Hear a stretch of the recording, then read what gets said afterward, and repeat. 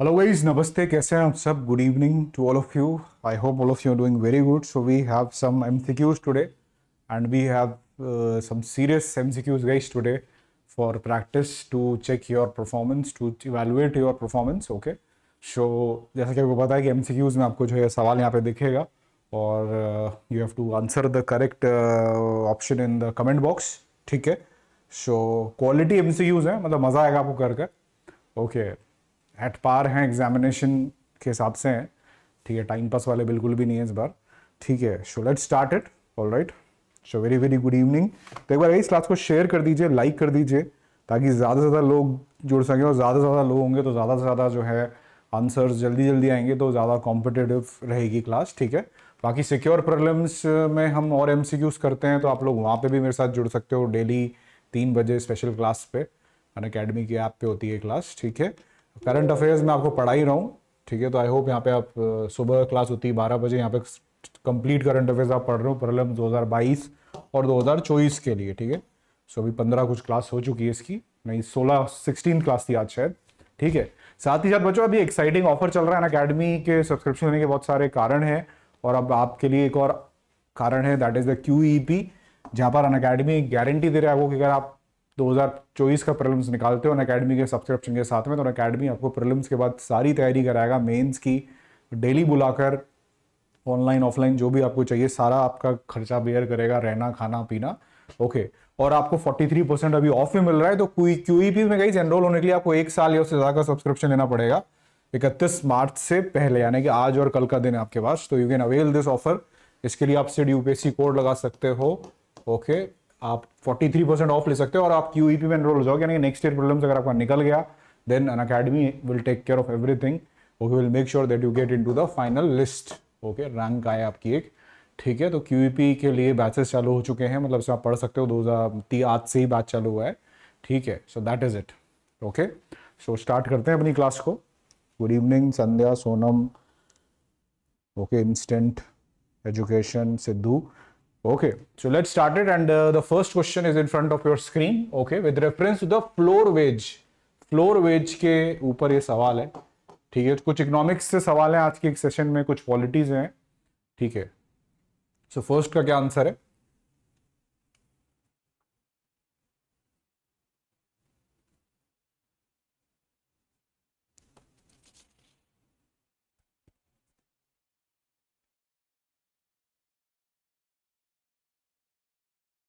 ठीक है फ़र्स्ट का आंसर जो आपको बताना है one dash A one dash B one dash C one dash D ठीक है। So one dash B is the correct answer है ठीक है? One dash B is the correct answer तो जो फ्लोर वेज एक तरह से मिनिमम वेज होती है, जो कि सरकारें तय करती है कि भाई इतना काम तो इतनी सैलरी तो आप यू नो इतनी पैसे तो आपको किसी को देने ही पड़ेंगे, अगर आप उससे कुछ काम कर रहे हो, ठीक है? सो जोग्राफिकल एरिया में अगर जो वेरी करती है उस गाँव, शहर के हिसाब से तो फ़र्स्ट स्टेटमेंट इज़ रॉन्ग ठीक है? द कोड ऑन वेजेस अभी 2019 में इसमें कुछ यू नो बात आई है, तभी मैं आपको क्वेश्चन लिया है मैंने। The code on the wages 2019 stipulate that the minimum wage that is paid to be the every employ cannot go below the floor wage ठीक है? तो एक फ्लोर वेज होती है कि इतना सैलरी आपको देना ही है, ठीक है? उसके ऊपर एक मिनिमम वेज होती है कि इतना तो आप उम्मीद करी जाती है, इतना तो आप दोगे ही। ठीक है, लेकिन फ्लोर वेज से आप नीचे नहीं जा सकते दोनों ही सेक्टर्स में फॉर्मल इनफॉर्मल सेक्टर में अप्लाई होती है ये, ठीक है। So minimum wage is the lowest wage okay legally allowed with which have to be paid all right so the minimum wage decided by the central government भी decide कर सकती है, इसको स्टेट गवर्नमेंट भी डिसाइड कर सकती है, ठीक है जोग्राफी के हिसाब से वेरी कर सकती है ये, ठीक है so that is it simple question let's move to the next question airports के बारे में है question number two about the major airport in India the major airports in India okay इसके ऊपर है ये। ठीक है क्वेश्चन नंबर टू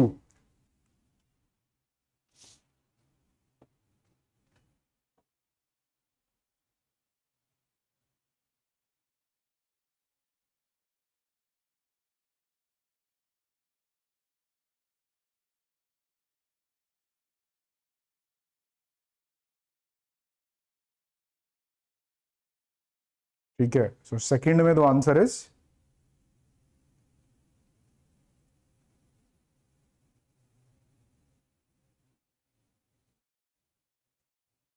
ठीक है? सेकंड में D is the correct answer मतलब दोनों ही स्टेटमेंट यहाँ पर गलत है। ठीक है? तो इस airport authority of India regulate नहीं करती है एरोनॉटिकल सर्विसेज़ क्या क्या रहेगा? बल्कि एयरपोर्ट्स इकोनॉमिक रेगुलेटरी अथॉरिटी इसकी अलग से A R A is an independent economic regulator to regulate tariffs ये रेगुलेट करती है, किराया, भाड़ा कितना लगेगा आपका। ठीक है? सो ओके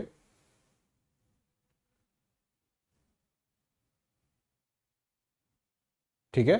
और रही बात 35 लाख अगर ट्रैफ़िक है 35 लाख लोग ज़्यादा उस एयरपोर्ट को यूज़ कर रहे हैं तो पुराना हो चुका है, अब ये ये जो पैरामीटर है तो नया पैरामीटर आ चुका है, यानी कि गवर्नमेंट तय करेगी कि ये मेजर एयरपोर्ट में डाला जाए इसको या ना डाला जाए। पहले जो है 35 लाख का आंकड़ा हुआ करता था। Earlier airport economic regulatory authority यही तय कर ओके ये इसने ये तय करती थी कि मेजर एयरपोर्ट है। अगर एनुअल साल भर में 35 लाख से ज़्यादा का पैसेंजर्स जा रहे हैं उस एयरपोर्ट से, ठीक है, लेकिन अभी गवर्नमेंट को एम्पावरमेंट हो गया। गवर्नमेंट तय करेगी। गवर्नमेंट बोल देगी, ये भाई मेजर एयरपोर्ट है तो वो मेजर एयरपोर्ट हो गया। भले वहाँ पे चार लोग भी ना आ रहे हो, ठीक है? तो ये आपको लेटेस्ट कुछ अपडेट्स हैं 2021 के so very valuable for examination also ठीक है, आगे बढ़ते हैं। Question number three production linked incentive बस क्वेश्चन टफ क्या है तो बच्चे जो है, रफू चक्कर हो गए। तो बच्चों यार ऐसे रफू चक्कर हो गया आप टफ क्वेश्चन देखकर तो फिर एग्ज़ाम में भी आपको फिर छोड़ के ही जाना पड़ेगा बीच में पेपर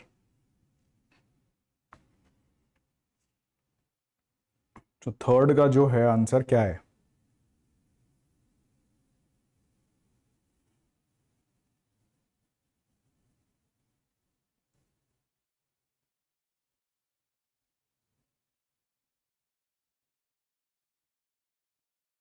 ठीक है तो थर्ड का आंसर है that is your C very good Manpreet okay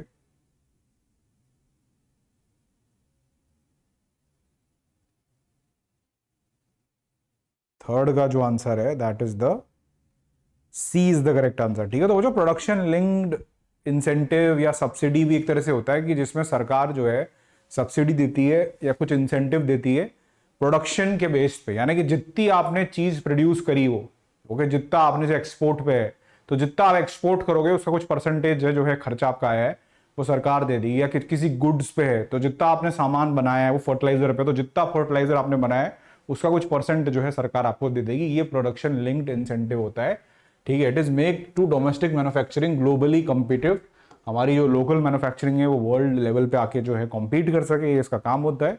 ठीक है incentives under the schemes are calculated on the basis of the incremental sales तो जितनी ज़्यादा सेल होगी, उतना ज़्यादा आपको प्रोडक्शन से लिंक्ड है क्योंकि इंसेंटिव तो जितना प्रोडक्शन होगा, उतना आपको इंसेंटिव मिलेगा। तो यहाँ पर दोनों जो है स्टेटमेंट सही हैं। कोई दिक्कत कोई परेशानी तो पूछ लीजिए। ठीक है? आगे बढ़ते हैं। ठीक है? तो प्रोडक्शन लिंक इंसेंटिव जो बेसिकली एक्सपोर्ट्स को बढ़ाने के लिए दिया जाता है कि हमारे एक्सपोर्ट जो है इंटरनेशनल मार्केट में सस्ते हो पाएँ और सस्ते हो पाए तो ज़्यादा बिकेंगे वो। ठीक है? सो फोर्टीन सेक्टर्स में गवर्नमेंट ने जो है प्रोडक्शन लिंक्ड सब्सिडी कहीं ना कहीं किसी ना किसी तौर से जो है यू you नो know, निकाल रखी है automobile, auto component, electronics, IT, telecom, pharmaceuticals, metals, mining, okay, everything. Which of the pricing mechanism जो है इज़ नॉट करेक्ट अब आपको गलत जो है यहाँ पर स्टेटमेंट चूज़ करना है। ठीक है। रॉन्ग स्टेटमेंट चूज़ करना है क्वेश्चन नंबर फोर्थ में।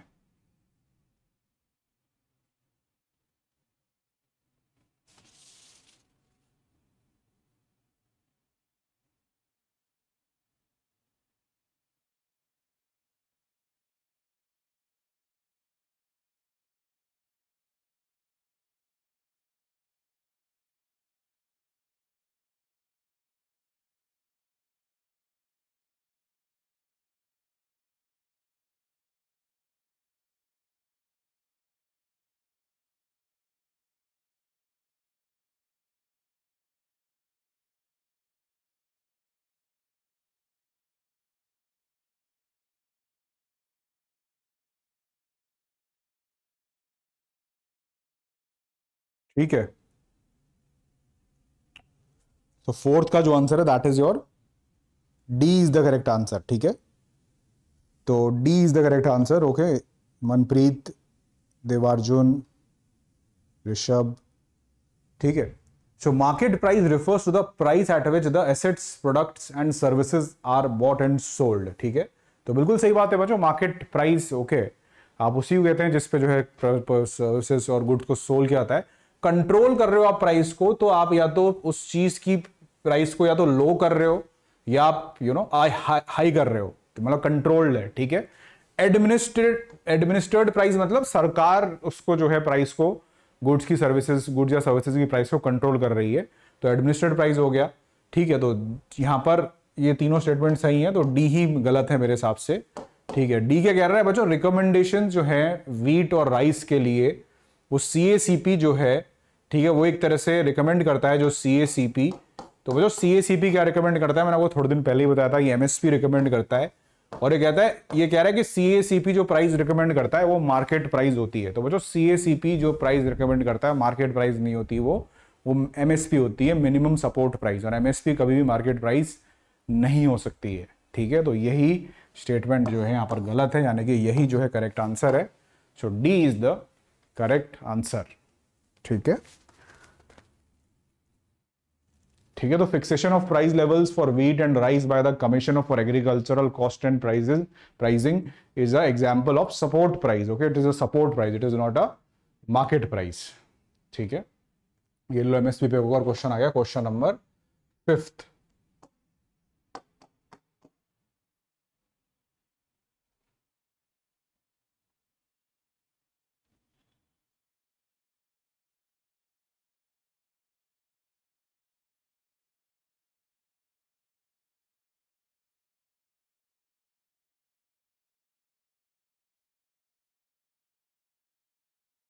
ठीक है? सो फिफ्थ क्वेश्चन का क्या आंसर है? फिफ्थ का जो आंसर है दैट इज़ योर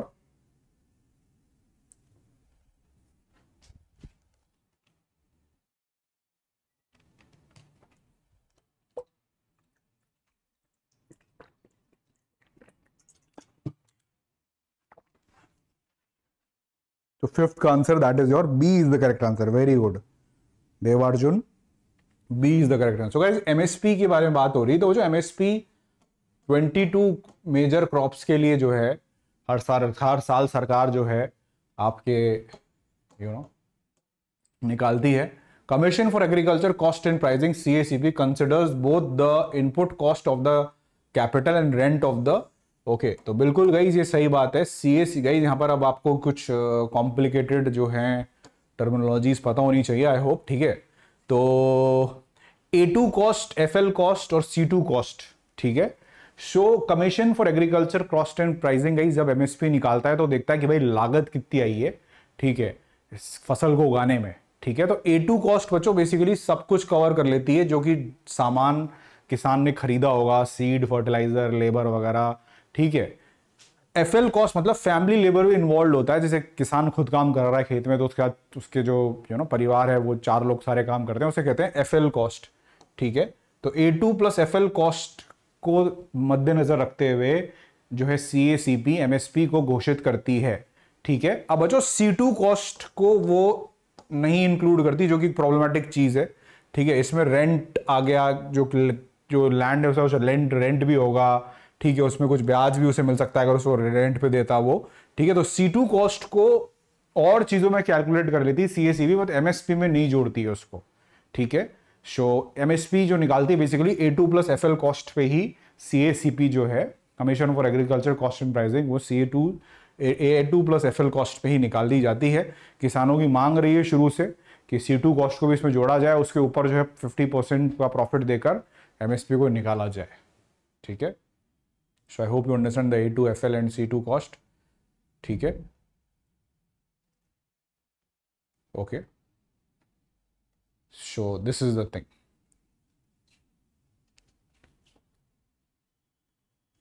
ठीक है? So question number six DRDO ने बचाओ सक्सेसफुली टेस्ट किया है अभी पृथ्वी सेकंड को. What is it Prithvi second क्या है? पृथ्वी टू क्या है?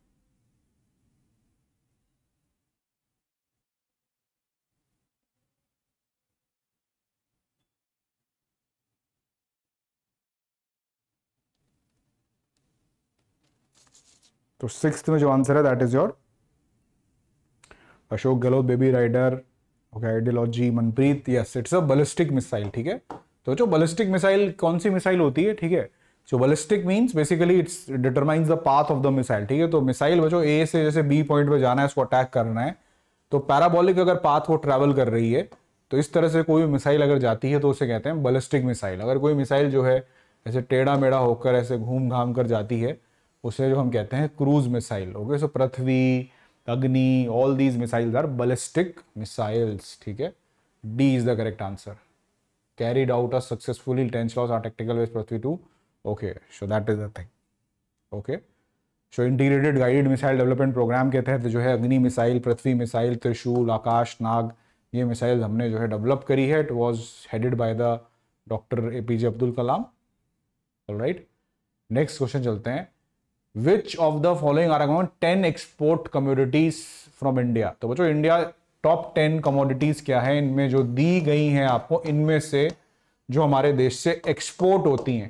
एक्सपोर्ट मतलब इसका हमारे देश में सरप्लस रहता होगा। एक्स्ट्रा प्रोड्यूस करते होंगे हम, ये तभी हम यू नो टॉप टेन में आ गई हैं। ये तो आपको बताना है कौन कौन सी वस्तुएँ हैं जो यहाँ पर आती हैं। क्वेश्चन नंबर सेवेंथ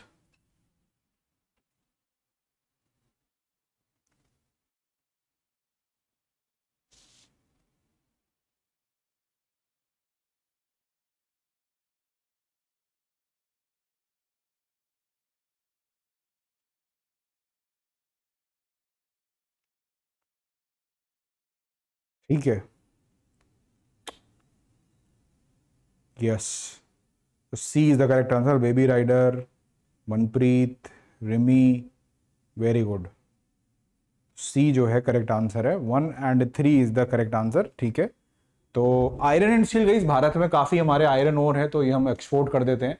वेजिटेबल को इस ऑयल की कहानी आपको वही पता ही होगी कि बहुत बड़ा प्रॉब्लम है। वेजिटेबल हम एक तरह से लार्जेस्ट आप समझ लो इम्पोर्टर है। तो हमारी खुद की नीड्स हैं, वही पूरी नहीं आती तो एक्सपोर्ट्स तो हम क्या करेंगे? तो ये तो आप बिल्कुल काट सकते थे, ठीक है? तो ए काट दिया बी काट दिया, ठीक है? तो ठीक है मरीन प्रोडक्ट्स आपको बताया गई India is you know one of the like top three marine जो fish fishery industry top three में आते हैं हम, ठीक है? तो वो भी हम एक्सपोर्ट करते हैं काफ़ी। प्लास्टिक रॉ मटेरियल्स ये ये हम नहीं करते हैं। So one and third is making a good point है so C is the correct answer ये टॉप टेन की लिस्ट में है, ठीक है? So that is a thing okay so अब ये तो आपको दिखेगा नहीं, कोई नहीं। ओके सो आईएमएफ के बारे में सवाल है ये। Okay rapid credit facility okay rapid credit facility और rapid financing instrument R C F और R F I question number eighth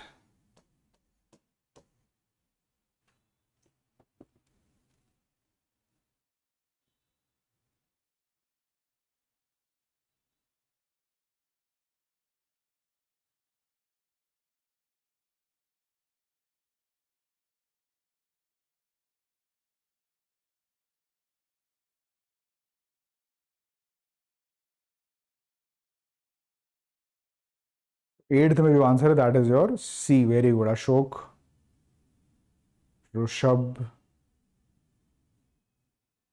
ठीक है। तो दोनों ही स्टेटमेंट गई यहाँ पर सही है। तो बच्चों रैपिड क्रेडिट फैसिलिटी एक तरह से आईएमएफ की फैसिलिटी जो कि अर्जेंट बेस पे पैसा प्रोवाइड कराती है और वो कंट्री जो है बीओपी की क्राइसिस होने वाला है किसी कंट्री में। तो कंसेशनल रेट पर जो है लो इनकम कंट्रीज़ को फाइनेंशियल मदद पहुंचाई जाती है under the RCF or Rapid Financing Instrument, provides rapid financial assistance to all member countries or facing urgent BOP crisis, ठीक है? तो बच्चों RCF की जो सेवा है, वो सिर्फ़ यहाँ पर जो है लो इनकम कंट्रीज़ के लिए अवेलेबल है, पर RFI की जो सेवा है, दोनों ऑलमोस्ट सेम सी है बीओपी क्राइसिस में हेल्प करती है बट वो ओपन टू ऑल है। कोई भी कंट्री जो है आर से पैसा ले सकता है एमआईएफ के आईएमएफ से आर के थ्रू ठीक है? RCF is available only for low income countries ठीक है तो C is the correct answer समझ गए आप?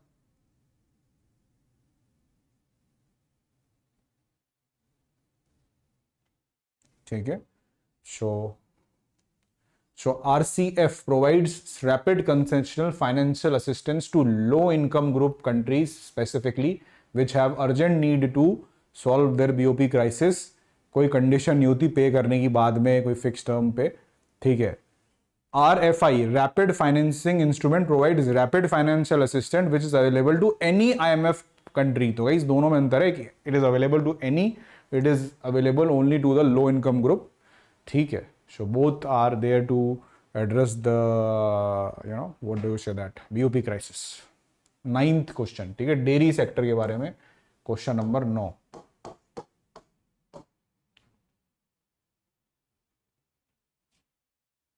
पीडीएफ के लिए आप Sid UPSC Telegram channel join कर लीजिएगा Sid UPSC official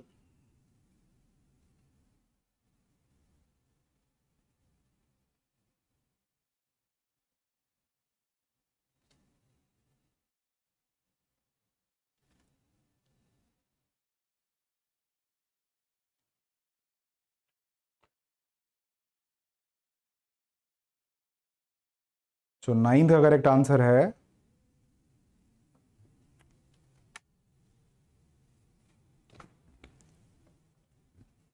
ठीक है।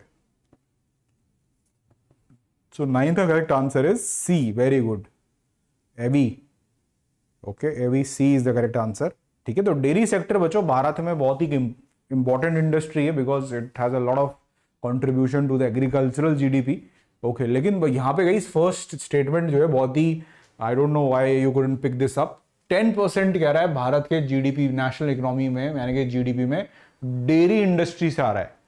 मेरे को आई डोंट थिंक ऐसी कोई एक इकलौती इंडस्ट्री है जो 10 परसेंट कॉन्ट्रीब्यूट करती है जीडीपी का। मतलब बहुत बड़ी बात हो गई है ठीक है?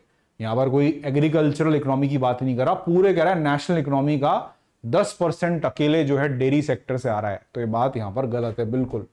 बिल्कुल गलत है। इसके इसके बेसिस पे आप ये काट सकते थे, ये काट सकते थे, ये काट सकते थे। Two and three is correct India accounts for more than 20 percent of global milk production ये बात सही है because we are one of the largest milk producer in the world largest cattle and buffalo population है बच्चों, वो हमारे देश में ही है। ठीक है? ये भी सही बात है। ठीक है? So both of the statements are correct ठीक है? So dairy is the single largest agriculture commodity contributing five percent of the national economy and employing more than eight crore of the farmers ठीक है? India is rank number one in the milk production ठीक है?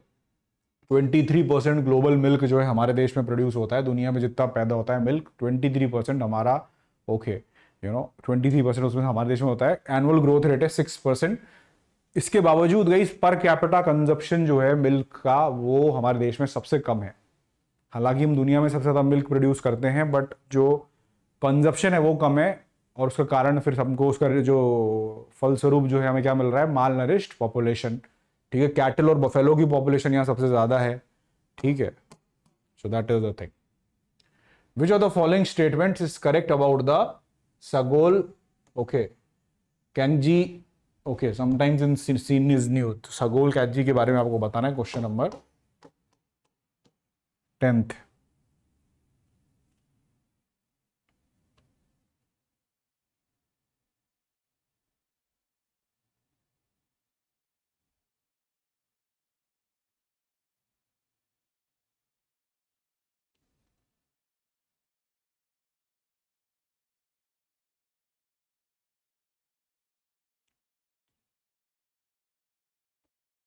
तो tenth में जो है C is the correct answer very good Rimi Ashok Gehlot okay Anamika so it is very kind of polo polo आपको पता है गेम होता है हॉर्स पे जो यू you नो know, बैठ के खेला जाता है। तो इट्स इंडिजिनियस टू मणिपुर तो some sort of a polo है लोकल है मणिपुर में तो इस तरह से जो है ऑलमोस्ट पोलो की तरह ही जो है खिलाड़ी इसको खेलते हैं।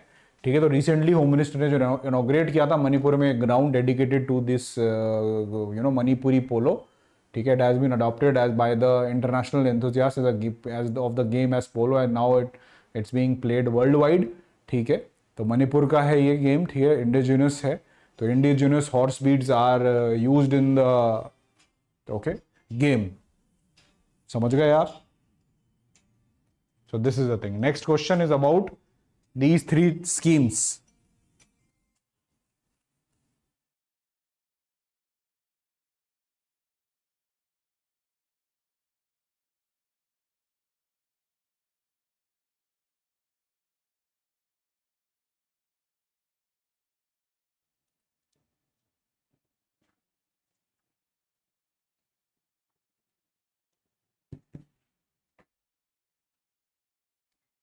So i hope you can see what is visible i i hope you it is visible yes तो इलेवेंथ का जो आंसर है दैट इज़ योर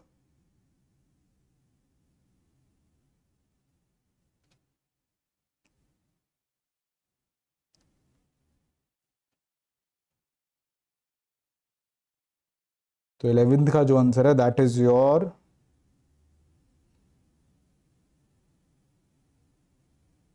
ठीक है? सो इलेवेंथ का आंसर है यहाँ पर जो है डी है। सारी सही मैचेस है यहाँ पर ठीक है? तो Sfurti scheme guys basically traditional industries में जो यू you नो know, जो हमारे लोग काम कर रहे हैं उनको जो है स्किल उनकी बढ़ाना है। चैंपियन पोर्टल बच्चों कुछ big okay to make the smaller units big by holding and addressing their grievances okay champion portal is for that okay aspire जो है आपके स्टार्टअप्स के लिए इनोवेशन के लिए उसके लिए इन द एग्रो इंडस्ट्री ठीक है? रूरल एरियाज़ में। सो सारी की सारी बातें जो है सही है यहाँ पर। ठीक है, स्फूर्ति स्कीम जो है एमएसएमई मिनिस्ट्री उसने निकाली है। Okay with organize the traditional industries को जो है आगे बढ़ाने के लिए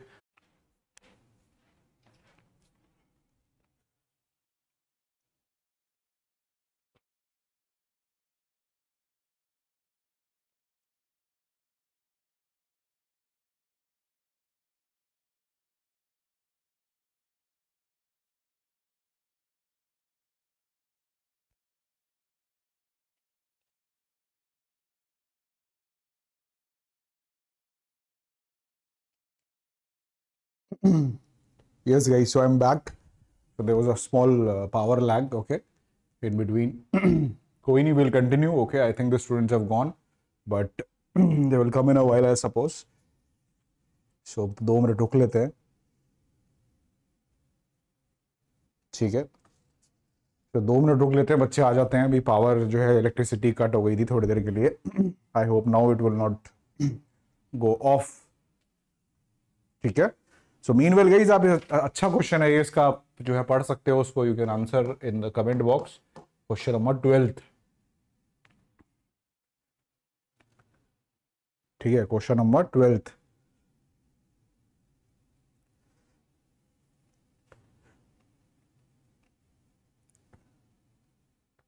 question number twelfth का क्या आंसर है?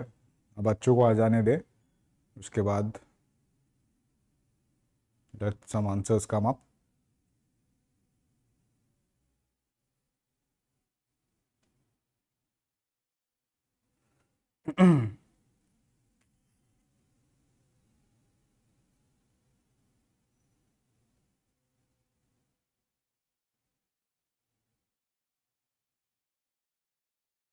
ठीक है? सो ट्वेल्थ का जो आंसर है यहाँ पर जो है that is the A is the correct answer ठीक है? So appropriation act authorize the payment side of the budget ठीक है? Whereas finance act legalize the income side of the budget ठीक है?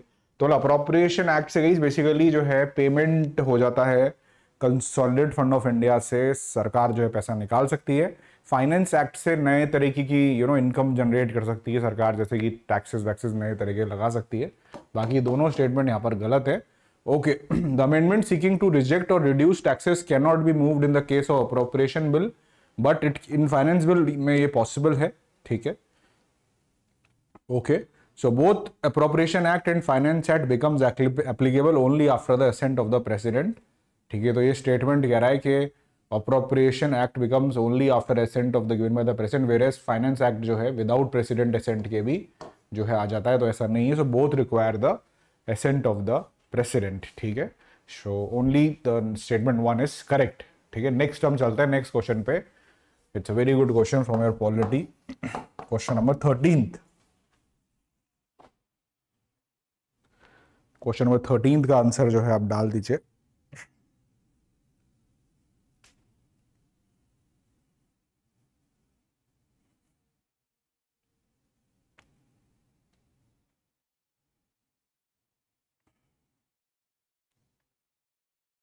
ऑल राइट तो क्वेश्चन नंबर थर्टीन में हो जाता हूँ साइड में। ठीक है so it's about legislative council जो विधान परिषद होती है।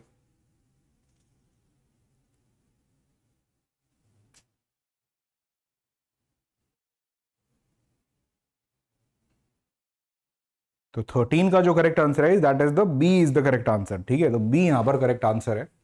President prior recommendation is required for the formation of the legislative council यानी कि विधान परिषद। कुछ ही स्टेट्स में विधान परिषद है, आपको पता है, सारे स्टेट्स में नहीं है। ये कह रहा है, किसी स्टेट में विधान परिषद बनानी है लेजिस्लेटिव काउंसिल बनानी तो प्रेसिडेंट की पहले परमिशन चाहिए होती है। तो ऐसा बिल्कुल भी ज़रूरत नहीं गई पार्लियामेंट जो है, चाहे कभी भी तो बना सकती है, किसी भी स्टेट के लिए, या अबॉलिश भी कर सकती है। ठीक है। So this statement is wrong ठीक है। President prior recommendation is not required for the formation of the legislative council the parliament can abolish parliament कभी भी अबॉलिश कर सकती है लेजिस्लेटिव काउंसिल को।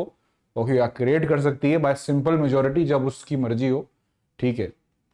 Okay legislative council permanent body बिल्कुल सही बात है गाइस राज्यसभा की तरह ये भी जो है परमानेंट बॉडी होती कभी डिजोल्व नहीं होती है।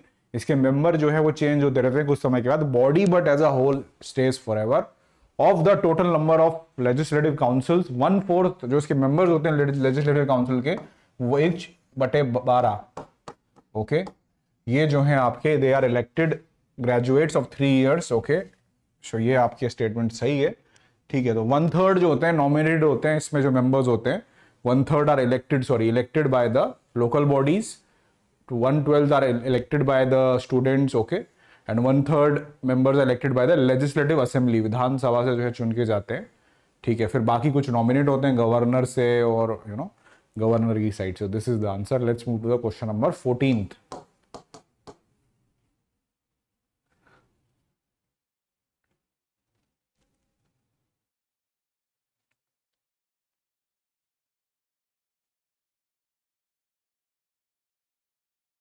ठीक है गुड इवनिंग सो फोर्टीन का क्या आंसर है?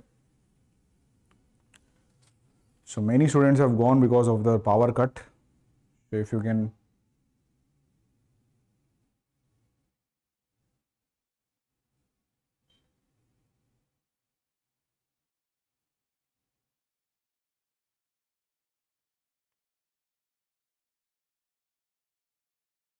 so question number fourteen का क्या आंसर है guys okay okay?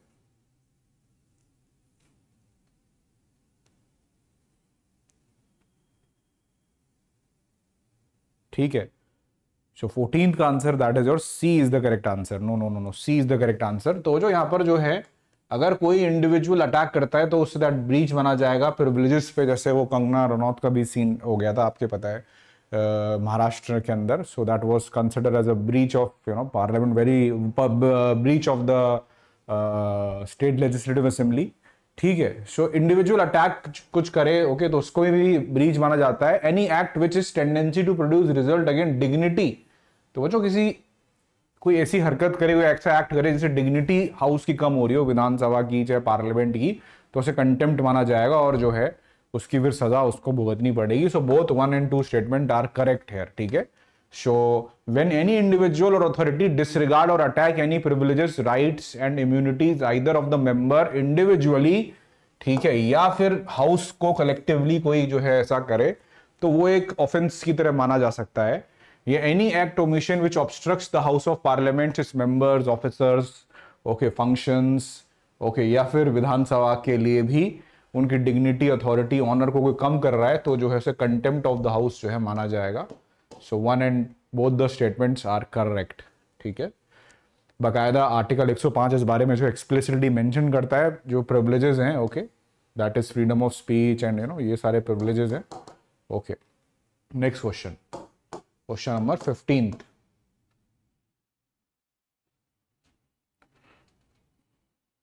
so this is the you know factors limiting the sovereignty of the Indian parliament मतलब इंडियन पार्लियामेंट बिल्कुल जो यू you नो know, उसकी पावर्स को लिमिट कौन कौन सी बातें करती है भारत में? क्वेश्चन नंबर फिफ्टींथ तो इसका आंसर आपको ही देना है। बच्चे हो गए धीरे धीरे इकट्ठे। ठीक है पावर कट हो गया था बीच में so there was a lag question number fifteen का answer on you have to give only what is the correct answer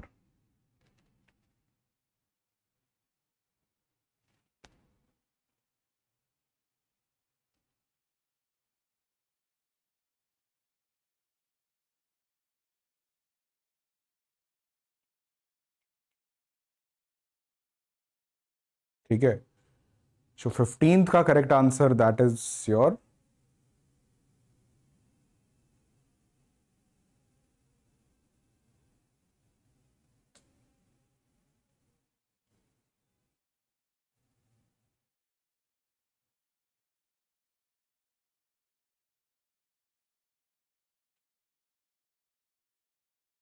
ठीक है all right right. So fifteenth का आंसर है that is your A is the correct answer very good okay very good Alok Pratap. ठीक है। तो जो parliament के power पे गई यहाँ पर लिमिटेशन क्यों लगी हुई, क्योंकि कॉन्स्टिट्यूशन रिटर्न नेचर का है तो मतलब जिसमें पार्लियामेंट के पावर का बताया गया है लिमिट्स क्या है, उस पर बताया गया है। बिल्कुल सही बात है।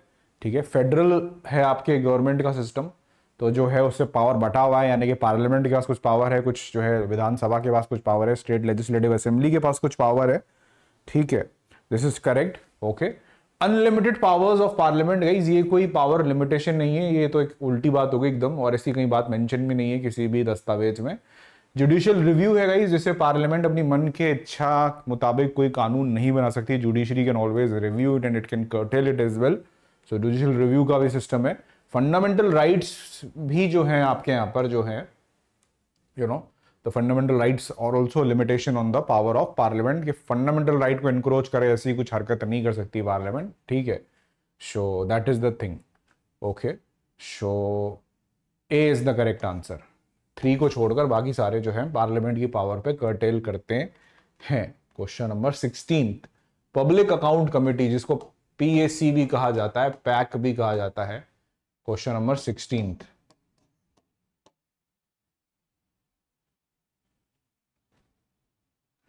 so question number लिखी गई 16 और डैश फिर आंसर लिखिए ताकि मुझे समझ में आए कि आप किसको आंसर कर रहे हो। ठीक है।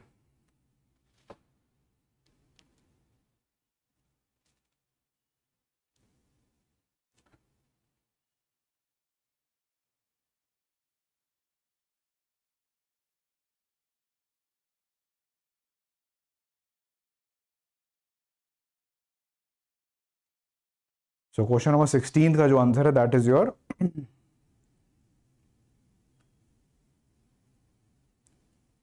तो पैक जो कम्युनिटी जो कमिटी है, उसके बारे में है।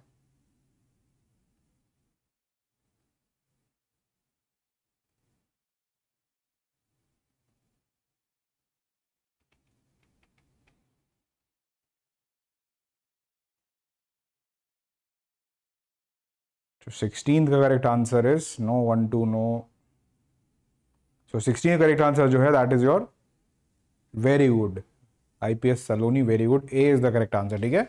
तो जो पैक जो, सॉरी कैग जो है ठीक है वो public concern following committee examines ठीक है? तो कैग बचो फ्रेंड फिलोसफर गाइड बोला जाता है इस कमिटी का।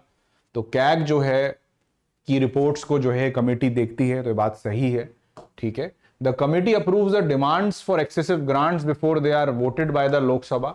ठीक है अगर एक्सेसिव डिमांड्स जो है ग्रांट हो रही है तो जो है यू you नो know, उसको जो है कमेटी देखती है. One and two is the correct answer okay the role of the committee is concern with the question of the policy in a broader sense तो वो जो ये कमेटी को पॉलिसी वॉलिसी बनाने में इस कमेटी का कोई रोल नहीं है. पॉलिसी जो है आप अपने हिसाब से सरकार बनाती है तो वहाँ पे the committee has no role ठीक है तो A is the correct answer ठीक है? A is the correct answer ठीक है? So public account committee very important committee it was first set up under okay 1921 all right government of India act 1919 के तहत इसको बनाया गया था ओके okay? 22 मेंबर्स होते हैं इसमें 15 लोकसभा से 7 राज्यसभा से, ठीक है? तो कैक की बच्चों, जो रिपोर्ट्स होती हैं, उनको एग्जामिन करती है ठीक है? So that is the main role of the public account committee one of the very important committee committees okay next question पे चलते हैं सेवनटींथ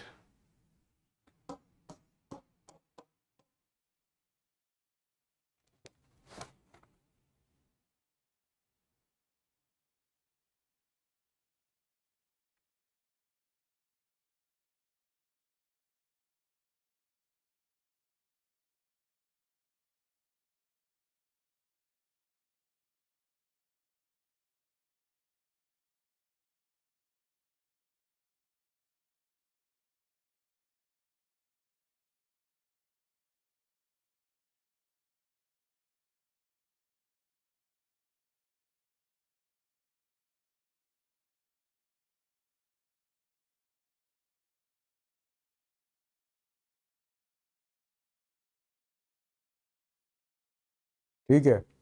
सो सेवनटीन का जो आंसर है that is your no no B no B so so, ये बहुत ही tricky question है ठीक है? तो एक बार अच्छे से देख लीजिए। C is the correct answer ठीक है? अब मैं आपको बताता हूँ सी क्यों है ठीक है? ये आरपीए के हिसाब से इस बात कर रहा है a person punished under the protection of civil rights यानी कि किसी पिछड़ी हुई जाति के बारे में कुछ वो अनर्गल बातें बोल दे तो वो परमानेंटली डिस्कालीफाई हो जाएगा ऐसा एमपी ऐसा मेंबर ऑफ़ पार्लियामेंट तो इस परमानेंटली डिस्कालीफाई नहीं होता छः साल के लिए डिस्कालीफाई हो जाएगा। ओके वो भी ओके वो सब प्रोसिक्यूशन के बाद में। तो ये बात गलत हो गई। If a person is undischarged insolvent then he is disqualified of being member is MP ये बात गई एकदम सही है। इसमें कोई दिक्कत नहीं है, लेकिन ये बात हमारे कॉन्स्टिट्यूशन में लिखी है not in the RPA act RPA की बात नहीं है ये तो गलत हो गया ये भी। सेकेंड स्टेटमेंट ही सही है बस यहाँ पर। हाँ a person has held office under the government of India and has been dismissed for the corruption के लिए किसी को हटाया गया है तो वो हमेशा यू you नो know, कभी भी एमपी एमपी का चुनाव नहीं लड़ सकता है। ठीक है ये भी तो उस सब उस पे जो है इल्ज़ाम प्रूव हो गए हैं उसके बाद। ठीक है? Only two is the correct answer here okay two only is the correct correct answer here ठीक है?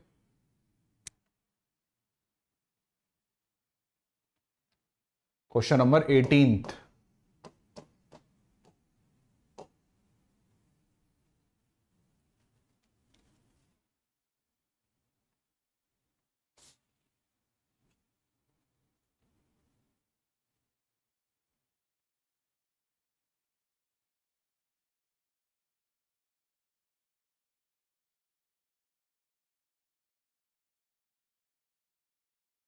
so question number eighteenth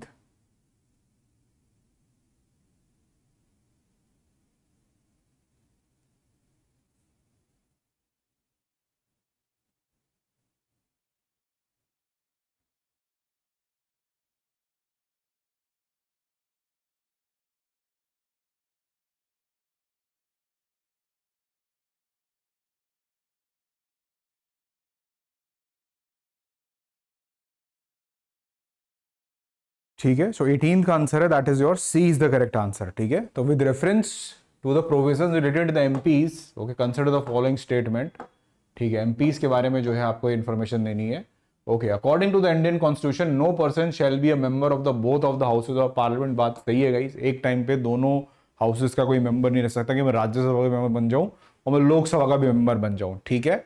MP can resign from the parliament कोई दिक्कत नहीं by addressing his resignation to the president तो जो president को अपना resignation वो नहीं देगा, वो अपना रेजिग्नेशन जो है, वो देगा आपके चेयर को, जैसे स्पीकर है लोकसभा में या चेयरमैन है राज्यसभा में not to the president if an M P remains absent continuously 60 days के लिए एबसेंट है, गायब है, एकदम लापता है, कोई परमिशन नहीं ली उसने तो उसको जो डिस्कालीफाई किया जा सकता है, ये बात भी सही है।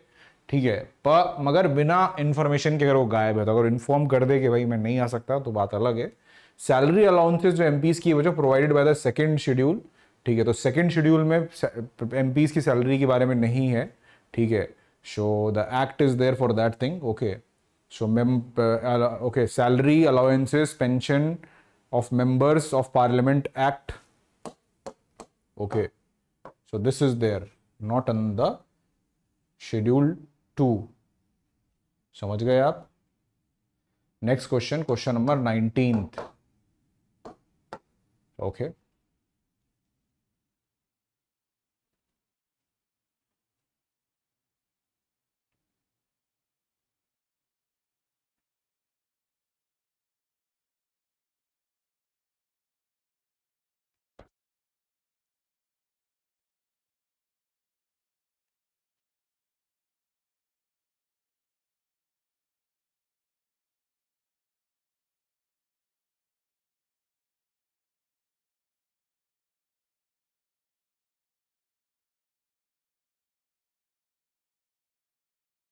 ठीक है क्वेश्चन नंबर नाइनटीन का क्या आंसर है? सो नाइनटीन का जो आंसर है दैट इज़ योर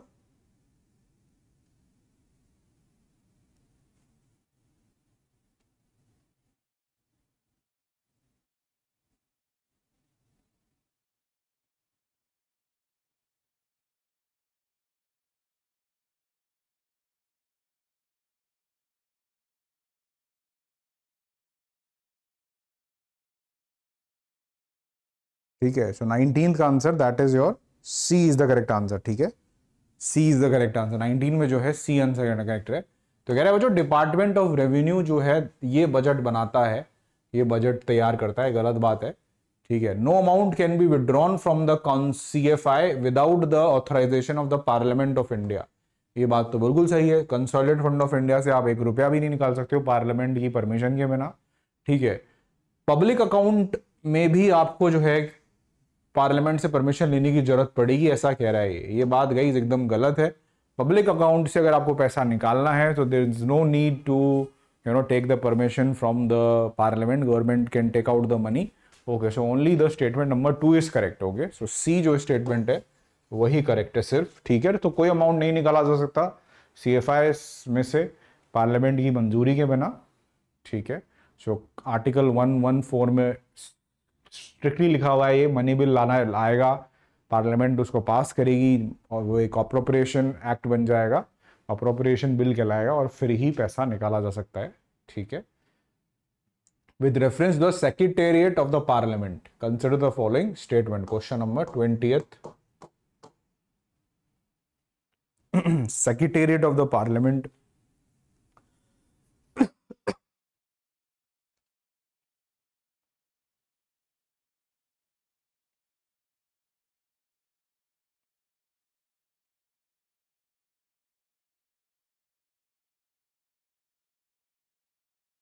ठीक है क्वेश्चन नंबर नाइन ट्वेंटियथ ठीक है। सो ट्वेंटियथ का जो आंसर है that is your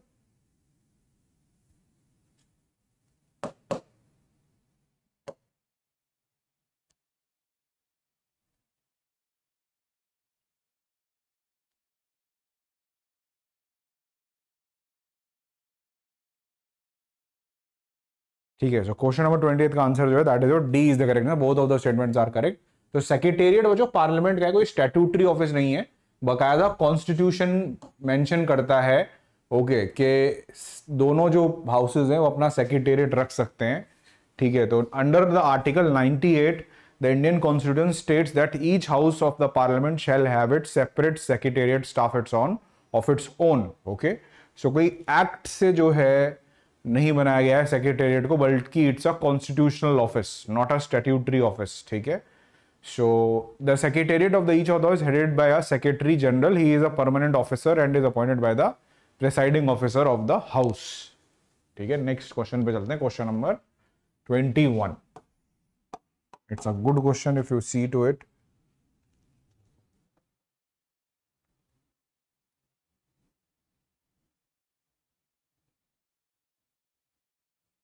so twenty one का जो आंसर है that is your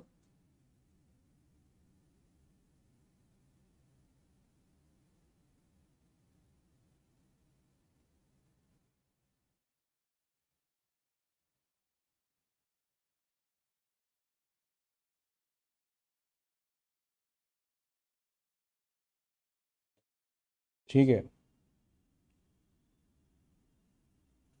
so twenty one का जो आंसर है guys that is your no no, not a. Okay, d is the correct correct answer here all, again.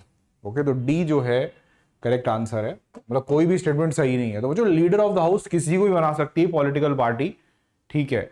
ये मतलब नहीं leader of the house हमेशा प्राइम मिनिस्टर ही रहेगा. It is not necessary okay absolutely okay so it totally depend on the polit party okay the constitution provide that responsibility of the chief whip तो बच्चों, कोई constitution में ज़िक्र भी नहीं है विप का या चीफ विप का। अब रिस्पॉन्सिबिलिटी की बात आप छोड़िए, कोई ज़िक्र भी नहीं है। A detailed procedure is provided in the constitution for the selection of the leader of the opposition ऐसा बच्चों, कोई डिटेल्ड प्रोविज़न नहीं है। लीडर ऑफ़ अपोजिशन की बात छोड़िए आप। अच्छी अच्छी जो पोस्ट्स हैं, उनके लिए भी डिटेल्ड प्रोविज़न कॉन्स्टिट्यूशन में ऐसा एलोबरेट कोई डिस्क्राइब्ड नहीं है। कि कैसे जो है किन को लगाया जाए। ठीक है तो ये भी बात जो है आपकी गलत होगी। तो सारे स्टेटमेंट यहाँ पर गलत है। ठीक है? So constitution does not provide for a detail procedure for the selection of the leader of opposition in the house अधिकतर यही माना कन्वेंशन चला आ रहा है कि जो मेजोरिटी पार्टी रहती है ओके okay, उसके बाद में जो सेकेंड पार्टी होती है अपोजिशन उसके जो लीडर होता है उसको लीडर ऑफ़ द हाउस जो है लीडर ऑफ़ द अपोजिशन जो है दे दिया जाता है। ठीक है? So that is a thing So according to the Constitution of India, it is the duty of the President of India to cause to be laid before the Parliament. Okay. So, okay. So according to the Constitution of India, it is the duty of the President. ठीक है president की duty है ये कि parliament के सामने जो है वो क्या क्या ले करता है okay what reports he lays before the parliament question number twenty two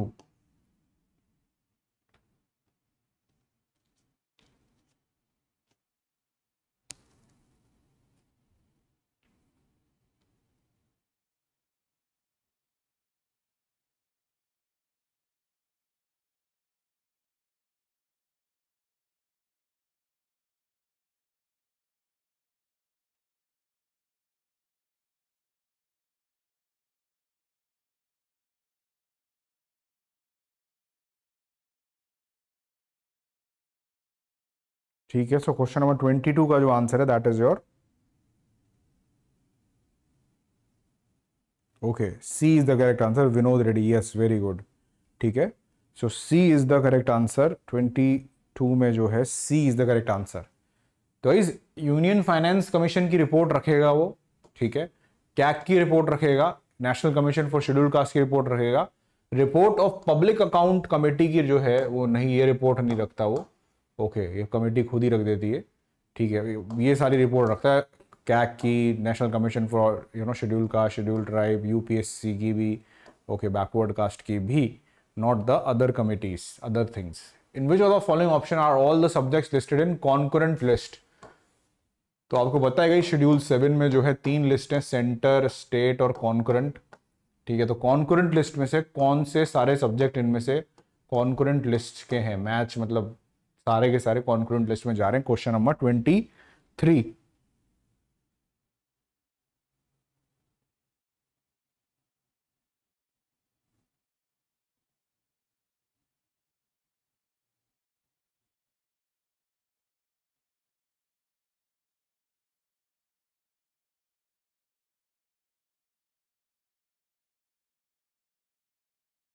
So, question number 23 का answer is B yes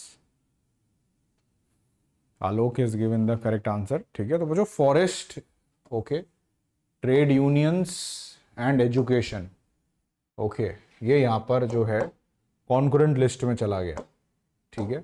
बाकी डिफेंस जो है सेंटर में है पुलिस जो है स्टेट में है एजुकेशन कॉन्करेंट में है, ठीक है? Education again here concurrent forest भी कॉन्करेंट में ट्रेड यूनियन कॉन्करेंट में है लैंड जो है स्टेट के पास है बैंकिंग जो है सेंटर के पास है again land is again with the state ठीक है। So that is the thing all right so you can see it here okay which of the following matters come under the residuary power as per the schedule seven of the constitution schedule seven के हिसाब से reduce residuary power में क्या क्या आता है इनमें से?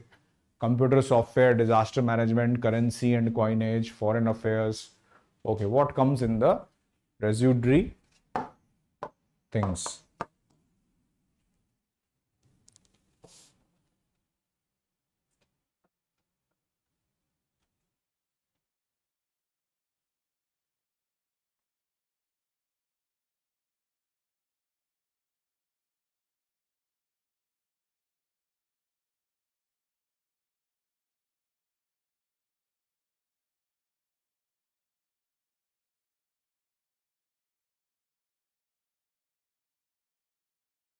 24 में जो है आंसर है, जो है आपका, ठीक है।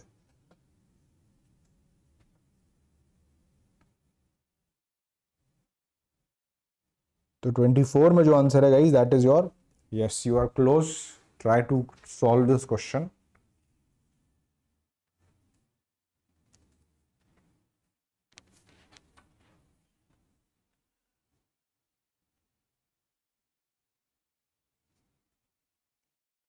ठीक है।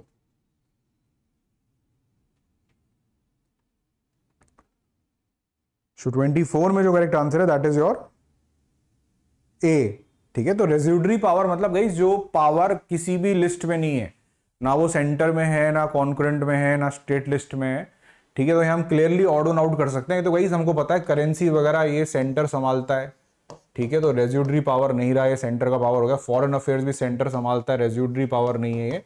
रेज्यूडरी मतलब जो किसी के पास नहीं है तो किसके पास रहेगा आप, ठीक है? तो जो कंप्यूटर सॉफ्टवेयर, डिजास्टर मैनेजमेंट, ये कोई बात नहीं लिखी हुई है शेड्यूल सेवन में तो ऑटोमेटिकली रेज्यूडरी पावर में चला गया वो। रेज्यूडरी पावर के ऊपर सारा अधिकार जो है वो ऑलमोस्ट सेंटर का ही है, ठीक है? So one and two is the correct answer A one and two is the correct answer ठीक है? सो लिस्ट वन है लिस्ट टू है लिस्ट थ्री है। ये तीनों लिस्ट है यहाँ पर। कॉन्कुरेंट स्टेट यूनियन ठीक है डिजास्टर मैनेजमेंट को आर फ़ाइल लगे in the okay currency coinage question number twenty fifth very good question on the attorney general of India तो अटॉर्नी जनरल ऑफ़ इंडिया के बारे में आपको इस क्वेश्चन में आंसर करना है question number twenty fifth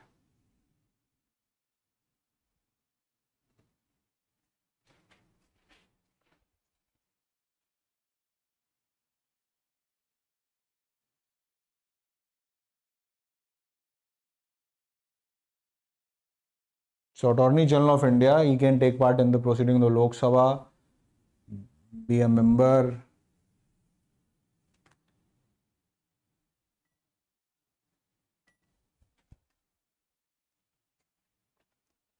So क्या क्या कर सकता है attorney general twenty fifth C very good IPS Alok okay तो सी गई करेक्ट आंसर है तो जो अटॉर्नी जनरल जो है लोकसभा की प्रोसीडिंग में जा सकता है राज्यसभा की भी, भी जा सकता है. वहाँ पर बोल सकता है, ठीक है, ओके, कमेटी कोई बने तो उसमें मेंबर बन सकता है, कमेटी है कोई लॉ से रिलेटेड तो उसमें मेंबर बनाया जा सकता है स्पीक कर सकता है लोकसभा में राज्यसभा में भी हाँ बट वो वोट नहीं कर सकता, क्योंकि वो कोई जनता का प्रतिनिधि नहीं है is just chosen by the government okay he can not और she can not vote in the Lok Sabha ठीक है तो one two and three is the correct answer okay So which of the following are the important provisions of the constitution which can create a strong central government? तो आपको पता है हमारी गई वैसे तो फेडरल स्ट्रक्चर है हमारे देश में यानी कि पावर बटा हुआ है सेंटर और स्टेट में लेकिन फिर भी ओके okay, एक तरीके से सेंटर की को जो है फेवर करता है constitution so central government is strong okay more powerful so what is the answer of the question number twenty six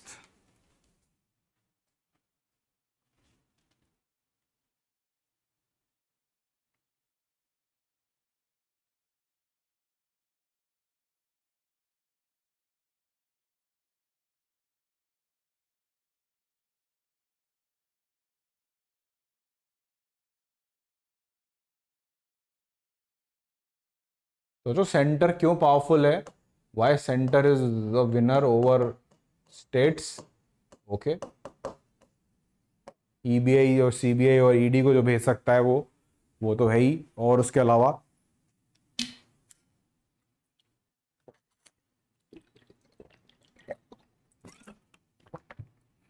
Okay okay. So twenty six में all yes Alok very good तो all of the statement make centre powerful तो जो parliament centre जो state का अस्तित्व है, वही पूरा सेंटर पे टिका हुआ है। यानी कि किसी भी स्टेट को बना सकता है या बिगाड़ा जा सकता है by the parliament of India ठीक है पार्लियामेंट किसी भी स्टेट को बिगाड़ सकती है, उसका नाम बदल सकती है। ठीक है। इमरजेंसी प्रोविज़न लगाकर कुछ भी पूरा स्टेट की मशीनरी को ही पार्लियामेंट अपने हाथों में ले सकती है, सरकार जो अपने हाथों में ले सकती है through the president rule office of governor है तो गवर्नर एक तरह से नॉमिनी रहता है सेंटर का स्टेट में जो देखता रहता है हर चीज़ के, भाई नियम कायदे से चल रही है, नहीं चल रही है. ऊपर से central government can give instruction to state government अगर जो है कुछ दिक्कत है तो दिल्ली से जो है फ़ोन आ जाता, आ सकता है. So D is the correct option ठीक है? So consider the following statement okay this is a very good question from your जजेस इंक्वायरी एक्ट किस तरह से जजेस को इम्पीच किया जा सकता है? आज तक वैसे हालाँकि कोई जजेज इम्पीच हुआ नहीं है high court and supreme court का। Okay so question number twenty seventh का क्या आंसर है?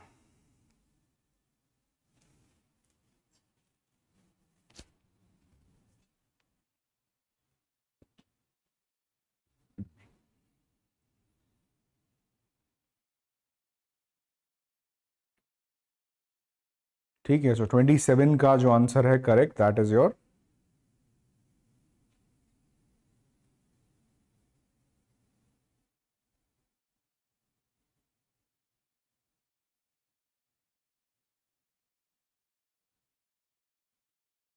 ठीक है। सो ट्वेंटी सेवन का जो आंसर है that is your C very good IPS Vinod Reddy okay so C जो है करेक्ट आंसर है। ठीक है तो बहुत अच्छा आपने कर पाया इसको। तो जो इम्पीचमेंट का जज का जो सुप्रीम कोर्ट का मोशन अगर किसी जजेस को जो हटाना है हाई कोर्ट या सुप्रीम कोर्ट के तो उसको पहली यू नो जैसी लोकसभा में वो बात आएगी तो स्पीकर ही चाहे तो उसको हटा सकता है। बात वो डिस्कस ही नहीं करेगी, कोई उस पर वोटिंग ही नहीं होगी। तो at the very first instance speaker ही चाहे कि ये बात किसी इम्पीच नहीं करना है जज को तो वो ओके ओके उसको हटा सकता है। ठीक है? तो कैनॉट नहीं है या कैन आना चाहिए था। ही कैन ओके तो मामला वहीं रफा दफ़ा हो जाएगा. The constitution of India defines and gives details of what constitute incapacity and proved misbehaviour of जजेस तो जो अगर कोई जज इन कैपेसिटी में हो जाए या मिसबिहेव करे तो उसे हटाया जा सकता है बट कॉन्स्टिट्यूशन में कोई इसका डिटेल जो है वो नहीं है. ठीक है? The process of impeachment of जजेस of the supreme court of India is given in the बिल्कुल सही बात है जजेस इंक्वायरी एक्ट में डिटेल में प्रोसीजर दिया हुआ है किस तरह से आप एक हाईकोर्ट या सुप्रीम कोर्ट के जज को जो है इम्पीच कर सकते हो, ये बात सही है। ठीक है so this is wrong this is wrong this is right if the motion of the impeachment of a जज is taken up for voting the law requires the motion to be back by each of the house okay and supported by the majority of the total membership okay of that house not less than two third तो काफ़ी मुश्किल है किसी supreme court या high court के जज को impeach करना उनको दिख ही रहा है, पढ़ाई होगा आपने, और इसीलिए शायद आज तक कोई जज इम्पीच हुआ भी नहीं है। ठीक है so C is the correct option okay so with one which one of the following statement with reference the role of Indian judiciary is protector of the fundamental right ये हम कैसे कह सकते हैं? Question number twenty eighth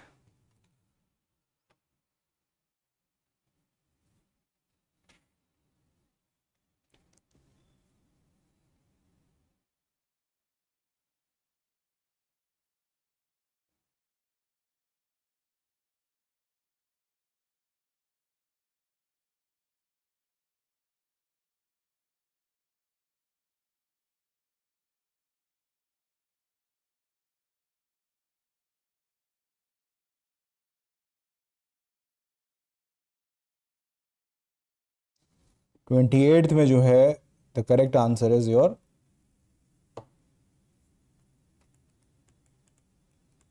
ठीक है। Twenty eighth में जो करेक्ट आंसर है, वो आपके C is the correct answer ठीक है? तो जो कॉन्स्टिट्यूशन कह रहा है explicitly endorsed the power of judicial review मतलब बोल के खुल्लम खुल्ला कॉन्स्टिट्यूशन में लिखा हुआ है, खुलकर जुडिशियल रिव्यू के बारे में, ऐसा कुछ भी नहीं लिखा हुआ कॉन्स्टिट्यूशन में। इनफैक्ट जुडिशियल रिव्यू का कंसेप्ट जो है केशवरंत भारती केस में आया था। सुप्रीम कोर्ट ने दिया था कॉन्स्टिट्यूशन में ऐसा कुछ भी नहीं लिखा हुआ। ठीक है?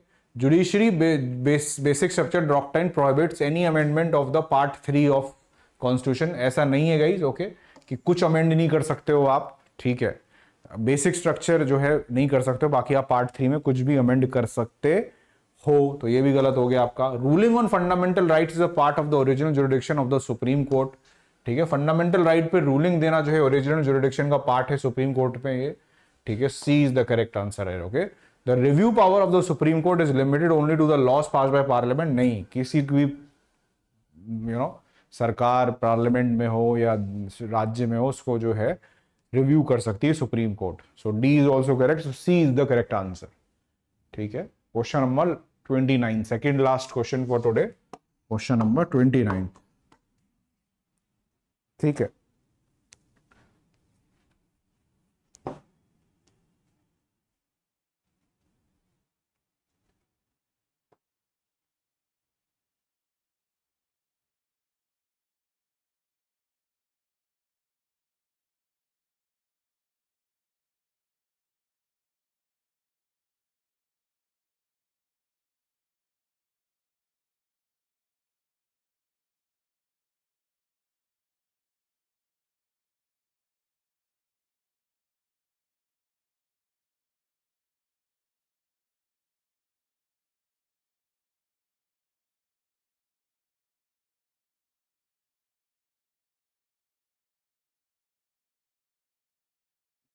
all right. So question twenty nine का जो आंसर है that is your B is the correct answer ठीक है? So the constitution of India defines its basic structure दोबारा वही बात आ गई। तो कोई बचो बेसिक स्ट्रक्चर डिफाइन नहीं करता है हमारा संविधान। It's like very clear. The Constitution of India provide for JR to safeguard the citizen liberties and preserve okay the Constitution. तो कोर्ट ने बच्चों ऐसा कहा है कि कॉन्स्टिट्यूशन में जो है इम्प्लिसिट है। ठीक है? तो आर्टिकल नंबर 32 और 226 इसमें हाईकोर्ट को पावर है और 32 में सुप्रीम कोर्ट को पावर है, उसके तहत एक तरह से जुडिशियल रिव्यू सर, जो है जुडिशरी कर सकती है अगेंस्ट एनी लॉ ठीक है? So that is the thing ठीक है? Next question last question for today tribunals पे है ठीक है? ट्रिब्यूनल्स आपके अलग से मेंस में भी है। सिलेबस में your GS paper two question number thirtieth